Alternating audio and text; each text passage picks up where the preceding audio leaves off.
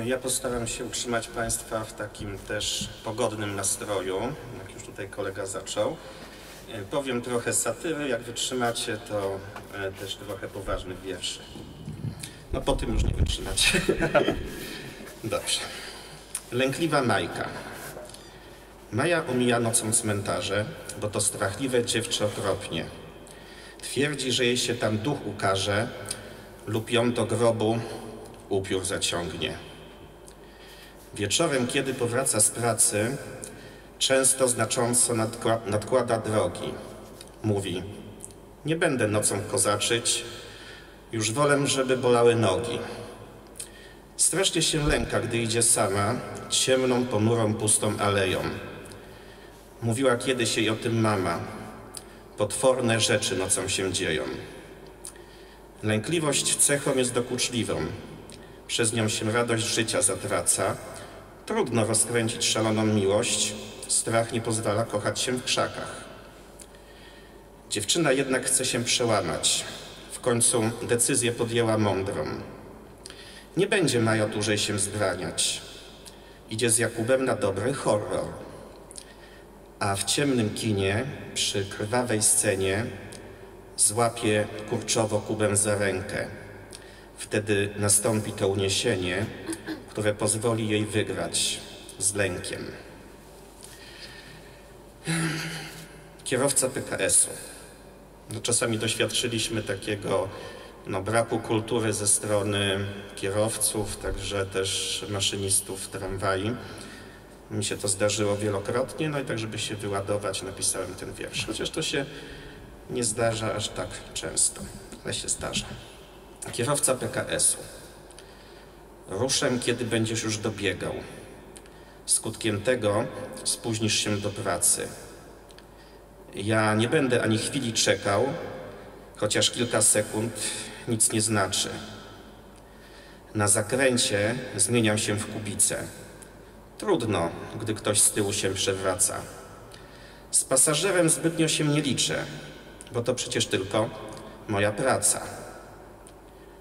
Na przechodniów miło mi się chlapie, gdy tak sunę śmiało po kałużach. Błoto leci więc na piękne panie, brudna woda spływa po ich buziach. Panem jestem trasy 509, więc, więc klaksonem piszczę całą drogę. Uczestnicy ruchu muszą wiedzieć, że na skrzyżowaniu czekać ja nie mogę. Nic na świecie jednak nie trwa wiecznie. Ta przygoda również ma swój finał, bo nadchodzi przecież fajrant wreszcie i o pracy chętnie zapominam. Kiedy już upłynie 8 godzin, po robocie jestem znów człowiekiem. Chodnikami znowu muszę chodzić i autobus czasem mi ucieknie. Teraz wiersz o takiej uporządkowanej kobiecie, która no, jest do przesady uporządkowana, ale ma też taką swoją inną, inną twarz, kiedy pojawia się on. Włosy zwinięte w skromny warkoczyk, pokorna mina, spłoszone oczy. Grzecznie wymawia słowa dzień dobry, nie nosi nigdy dżinsowych spodni. I choć figura jej nieułomna, powiedzieć trzeba, dziewczyna skromna. Lecz gdy przychodzi on, Krysia w demona się zmienia. Gdy czule chwytają za dłoń, to serce jej staje w płomieniach. Usta całują, a głodna ręka zachładnie chwytają za piersi. Wtedy już Krysia nie chce być święta. Słodko mu szepce, by je pieścił. Krysia nie słucha głośno muzyki. Obce jej wódka i narkotyki. Pije wyłącznie wodę ze szklanki, ma sympatyczne dwie koleżanki. Miłą rodzinę, ciekawe hobby, szyje obrusy i haftuje kołdry. Lecz gdy przychodzi on, Krysia przestaje być sobą. I gdyby ją nawet siłą wziął, wspólnie przeżyje z nim ten odlot. Kiedy przychodzi on, Krysia nie myśli już wcale. To nic, że czasem zalicza zgon, że pali skręty jest brutalem. Krysia przestrzega wszelkich zakazów. Mówiąc, unika brzydkich wyrazów. Modli się rano oraz wieczorem, tak jak to czynią starzy katole. W jej domu zawsze jest porządek. Ma wysprzątany każdy zakątek.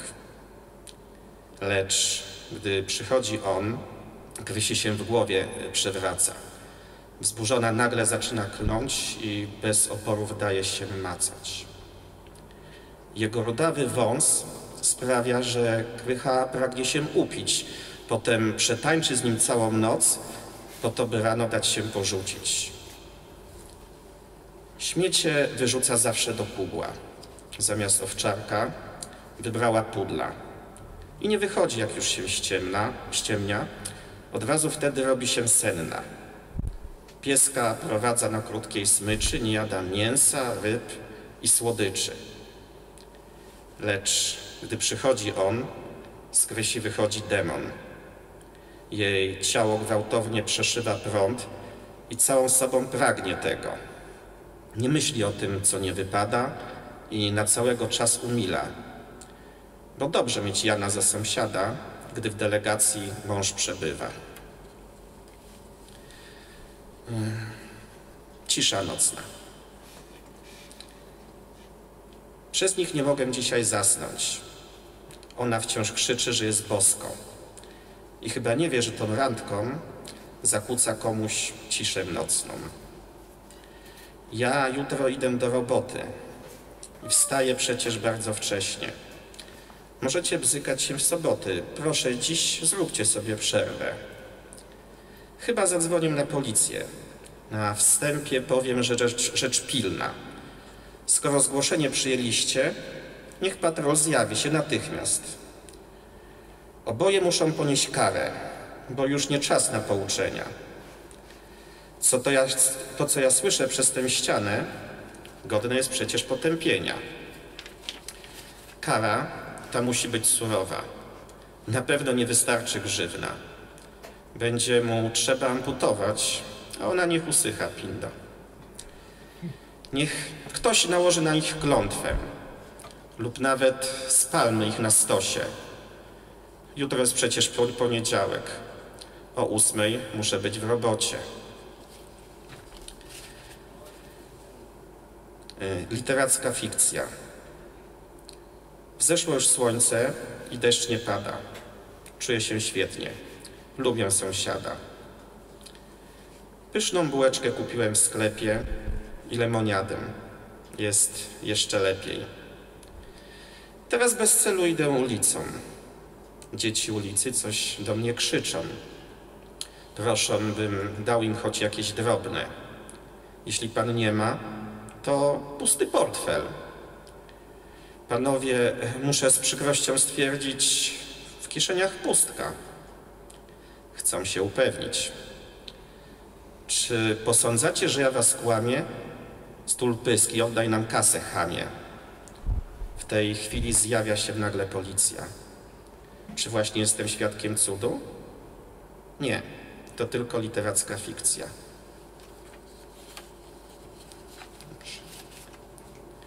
Ja nie wiem, ile mam czasu teraz na to.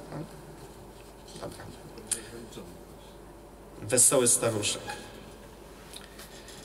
Co dzień wstaję bladym świtem. Jestem przecież emerytem. Zapierdzielam do apteki, by wykupić sobie leki. Zaraz potem na zakupy.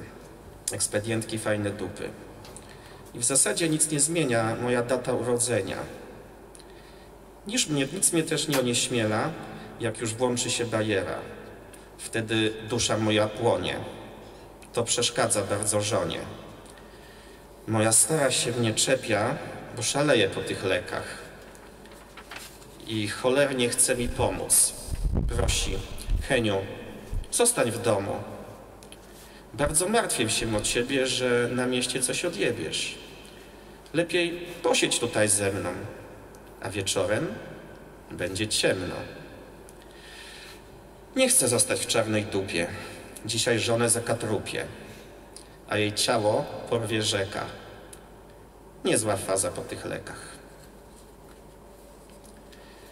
A tutaj napisałem wiersz Męskie porządki. To jest taki poważny problem, jak e, logistycznie rozplanować sprzątanie mieszkania. No, ja mam z tym problem, także zamiast robić porządku, zabrałem się za wiersz. Męskie porządki. Czy najpierw zetrzeć kurze, czy lepiej pozamiatać? Rozmyślam nad tym dłużej i waham się. Wciąż waham.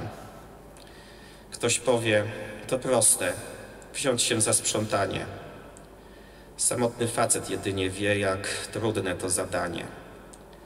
Książki to nie problem, równiutko ułożę.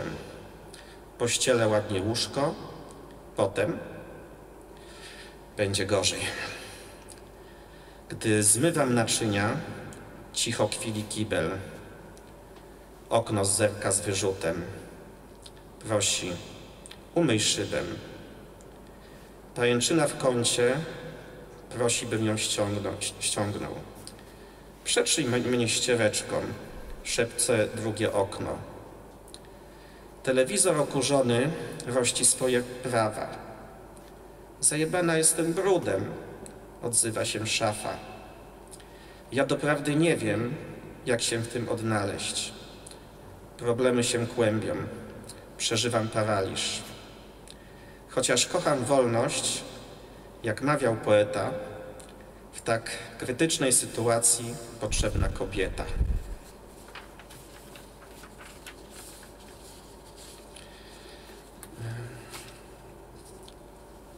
Narcyz. Chociaż jesteś wielką damą, pełen szczyt arystokracji, chcę Cię złapać za kolano, bo jesteśmy siebie warci. Pragnę z Tobą pójść na molo, pogadamy coś o gwiazdach. Potem w dźwiękach disco polo pocałujesz mnie, jak każda. Wiem, że jestem fajny ciacho i do tego mam gadane. Gdy wychodzę dziś na miacho, laski to się garną, same. Ja wybieram te najlepsze. Teraz chcę zaszczycić Ciebie. Będę czytał swoje wiersze. Będzie ze mną Ci jak w niebie. Sam się zbytnio nie zachwycam. Dla mnie to już nic takiego.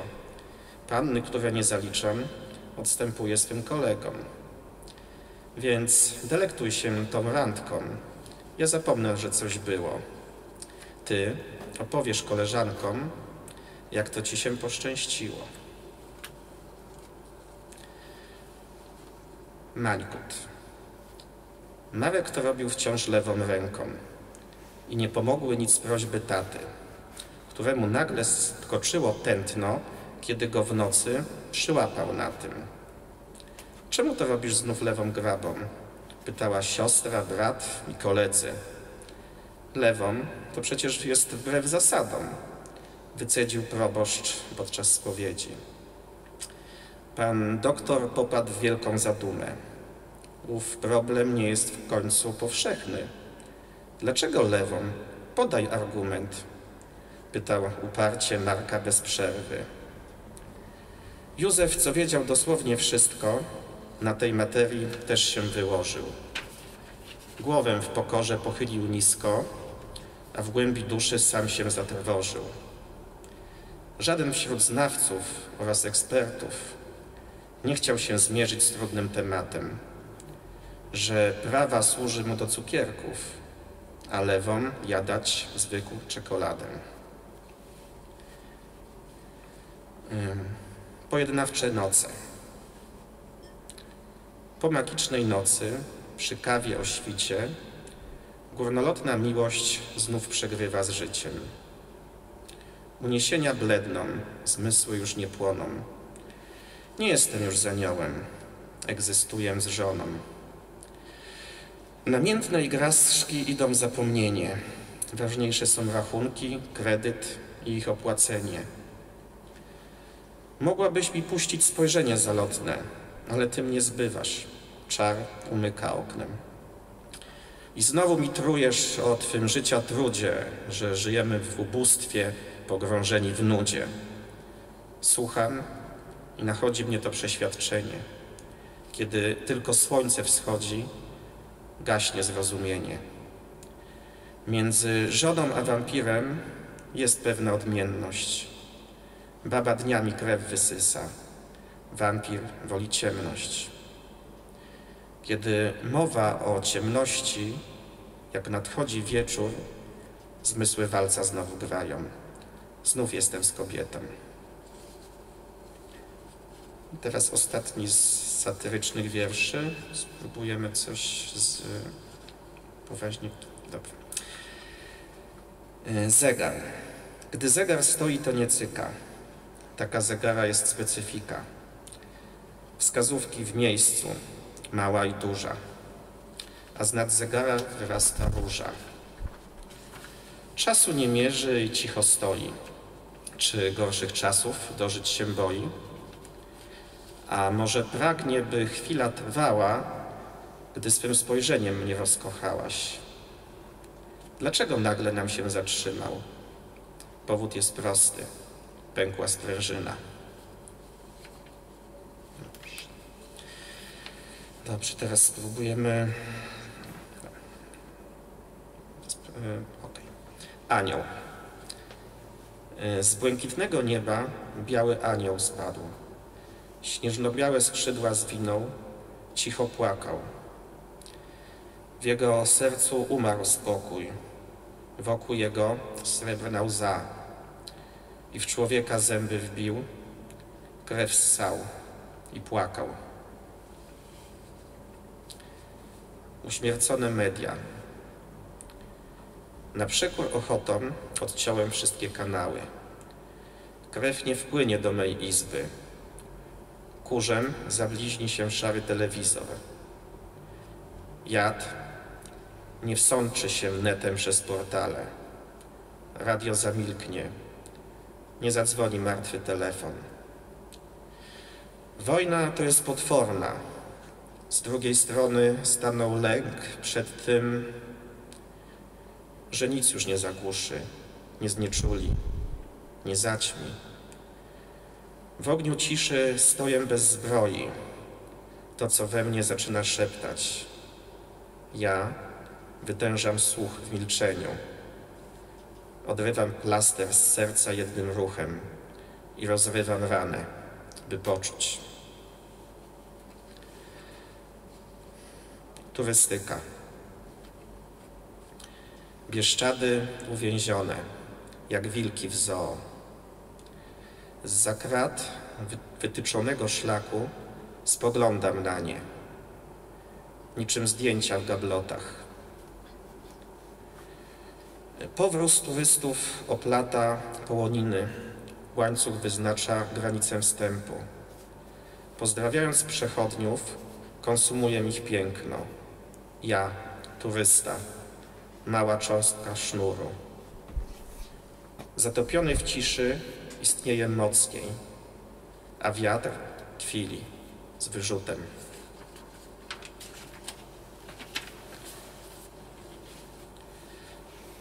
Współczesność. Świat dziś bardziej kolorowy, tylko domy wyższe i gęściej. Mniej cieszy oddech. Każdy łyk dogasza nicość. Wiem, że jutro idę do pracy. To ważne na teraz. A potem, kiedy spłonie most, nikt nie będzie płakał. Nie ma takiej potrzeby. Twoje oczy spoglądają ze zdjęcia. Ciepło, stanowczo. Proszę, bym oderwał metkę. Nieistnienie. Jestem tu, żeby ruszyć tam, albo nie być gdzie smutek. Nie jestem teraz. Żyję zamrożony do potem. Jutro ma, przynieść ukoje... Jutro ma przynieść ukojenie. Na sekundy odliczone. Knockdown. Po i przed ciosem. Jestem gdziekolwiek. Tak naprawdę nigdzie mnie nie ma. Wpadam tylko na chwilę, żeby wyjść zaraz. Omijam siebie łukiem, wiecznie bezdomny. Wciąż czekam na lepszy czas. Znieczulenie, czy minie? Niech wreszcie zaboli. Chora współczesność. Czasach, gdy wszystko jest blisko, cokolwiek cieszyć przestaje.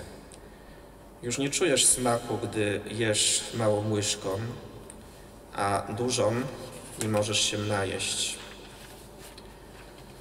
Czujemy życie słabiej, choćby o połowę. Cukier jest półsłodki, a sól półsłona. Substytut przyjaciela zastąpił jego osobę. Drzewa to tylko drzewa.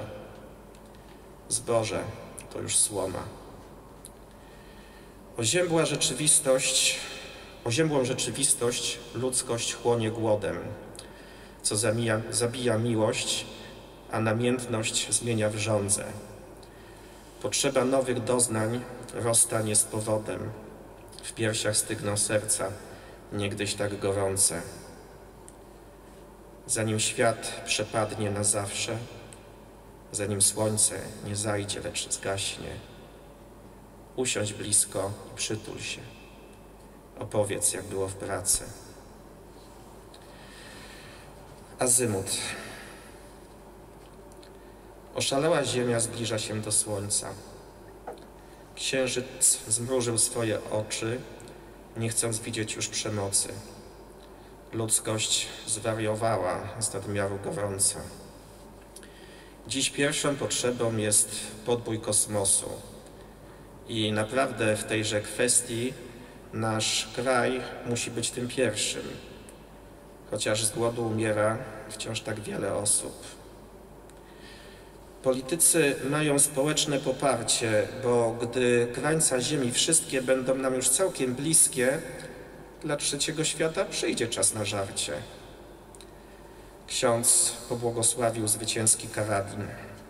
Dzięki niemu konflikt wygra ta właściwa ich religia. Dla nas będzie chwała. Bóg jest przecież z nami. Drogą do pokoju stał się wyścig zbrojeń. Wszystkie państwa, jak po sznurku, podążają w tym kierunku. Produkują czołgi, by nie było wojen. I chociaż spokoju nikt nie chce zakłócić, każde prawo ekonomii dotyczy też przecież broni. Inwestycja w końcu musi nam się zwrócić.